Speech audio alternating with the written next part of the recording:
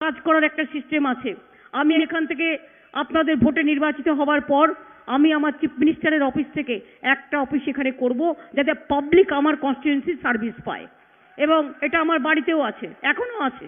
এখনও আছে, তারা চব্বিশ ঘণ্টা সার্ভিস পায়।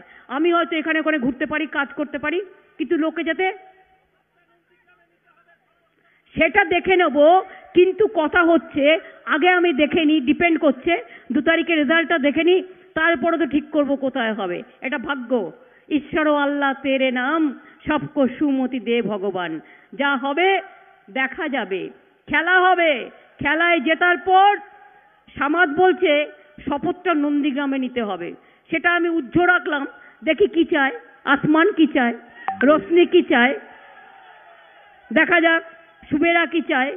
সকাল কি চায়? দুপুর কি চায়, সন্ধ্যা কি চায়, হলদি নদী কি চায়, নন্দীগ্রাম কি চায়, খেজুরি কি চায় ভগবানপুর কি চায়, সব দেখে রাখতে হবে। আর পার্থ, তোমরা হলদিয়াটাও একটু দেখে রেখো। তোমাদের তো ইলেকশন হয়ে গেছে। বক্স পাহারা দিচ্ছে তো? ঠিক আছে, দেখে রেখো সবাই মিলে।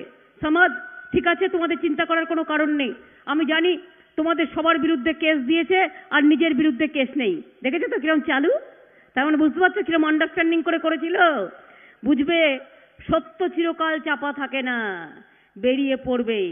বত্রিশটা পার্টির দাঁত বেরিয়ে পড়েছে, ঠিক ইলেকশনের সময়। ভালো থাকবেন, দেখা হবে কি ইয়াং জেনারেশন জোরে বলো জোরে বলো। মা বোনেদের একটু উলুধ্বনি, শঙ্করধ্বনি, নন্দীগ্রাম নন্দীগ্রাম, মা বোনেরা আমার। দেখো, মা বোনেরা উলুধ্বনি, শঙ্করধ্বনি দিচ্ছে। ভাইরা কি করবে?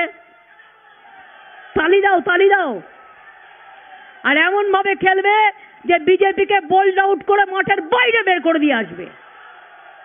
ভালো করে ভোট দেবেন, সকাল সকাল ভোট দেবেন, নিজের ভোট নিজে দেবেন, জোড়া ফুলে ভোট দেবেন, আর রাজনৈতিকভাবে বিজেপিকে এই মাঠেতে ভালো করে কবর দেবেন, ভালো করে কবর দেবেন, ভালো করে কবর দেবেন, যাতে কোনো কোনোদিন রাজনৈতিকভাবে আর মাথা তুলে দাঁড়াতেও না পারে। জয় হিন্দ, বন্দে মাতরম, খোদা হাফেজ ইনশাল্লাহ জয় জহর জয় বাংলা।